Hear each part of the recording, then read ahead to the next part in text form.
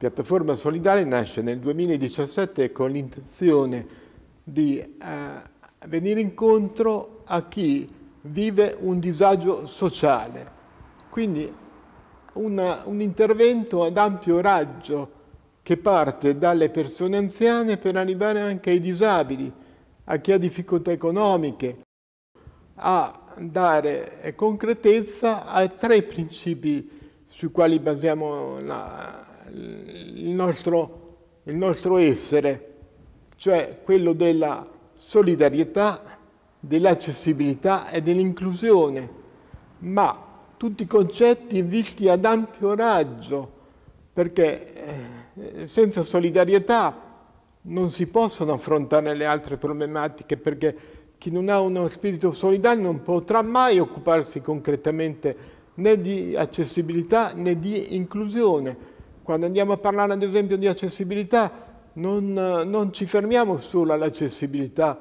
eh, che riguarda le barriere architettoniche, ma spesso e volentieri eh, manca un'accessibilità economica alle persone per potersi, per potersi sentire inclusi, potersi sentire inclusi nella società. Quando parliamo di inclusione, eh, anche lì parliamo di un'inclusione in senso ampio. Eh, eh, esempi importanti di inclusione sono quelli dell'attività lavorativa, eh, che riguarda anche qui non solo disabili, ma anche di chi esce ad esempio in tarda età dal mondo del lavoro, che non ha un futuro. Quanto riguarda i disabili, altro esempio concreto di inclusione è quello delle attività sportive, che sono fondamentali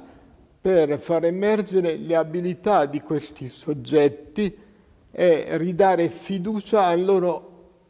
essere uomini come gli altri. L'esempio concreto che abbiamo eh, in pratica definito in questi ultimi mesi è quello dell'accordo con ADS Futura e il Pentaclon eh, moderno, la federazione nazionale, per attraverso il quale abbiamo dato vita ad un progetto che ci ha portato a collaborare con tutti gli istituti comprensivi di Pesaro